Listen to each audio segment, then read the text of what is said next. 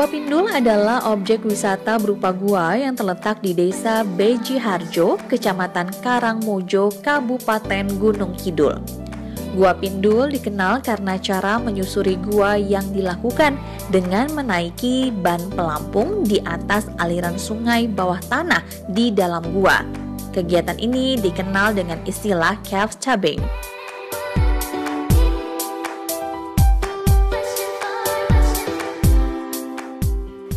Keamanan dan kenyamanan saat menyusuri Goa Pindul sangat terjamin dengan standar operasional yang telah dilakukan selama dibukanya wisata ini dan alat yang menunjang keamanan yang memadai serta dipandu oleh para pemandu yang profesional dan ramah.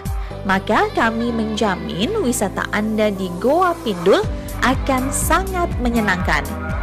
Para wisatawan yang akan melakukan cave tubing dilengkapi dengan peralatan keselamatan serta ban pelampung untuk menyusuri gua yang disediakan oleh pemandu wisata setempat.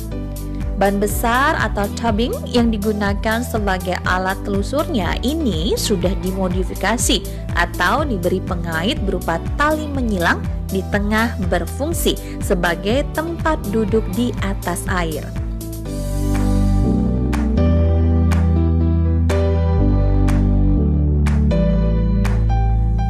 Sebelum kita cerita tentang Gua Pindul, kita cerita tentang alat transportasinya dulu.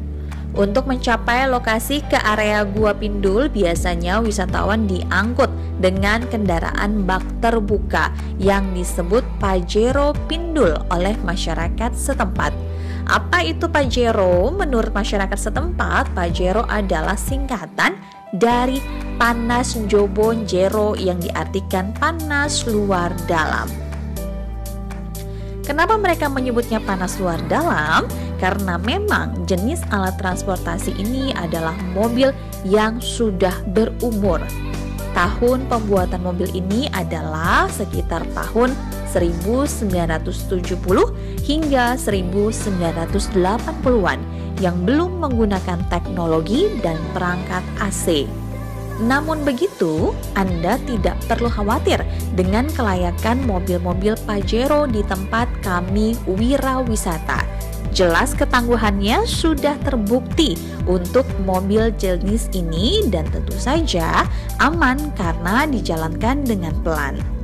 Pajero Pindul berkapasitas sekitar 20 hingga 25 orang berfungsi sebagai penjemputan dari parkir bus besar ke transit pendopo atau penjemputan dari objek Goa Pindul dan pengantaran penjemputannya. Fasilitas ini sudah include dengan pembelian tiket objek. Anda tidak dikenakan biaya tambahan untuk layanan ini.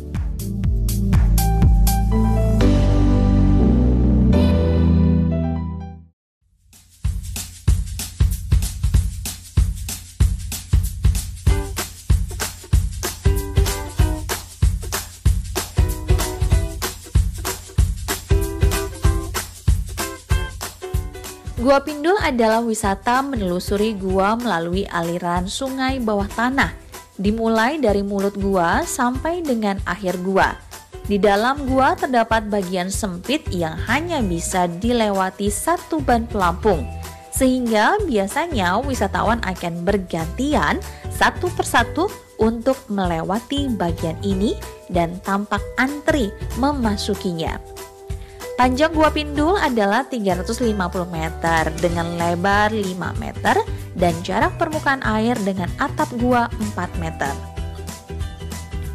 Penelusuran Gua Pindul memakan waktu kurang lebih selama satu jam yang berakhir pada sebuah dam. Aliran sungai yang berada di dalam Gua Pindul berasal dari mata air Gedong 7.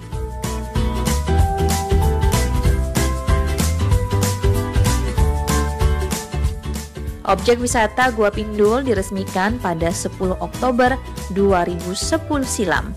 Objek wisata ini mulai dikembangkan oleh masyarakat sekitar dan hingga sekarang masih menjadi target destinasi untuk wisatawan lokal, nasional maupun internasional.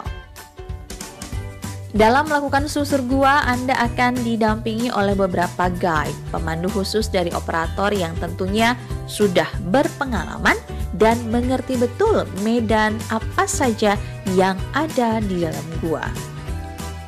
Di dalam penyusuran gua, Anda akan melihat beberapa ornamen batu stalaktit yang masih aktif maupun sudah tidak aktif yang menghiasi Gua Pindul dan dibagi beberapa zona yang berbeda-beda.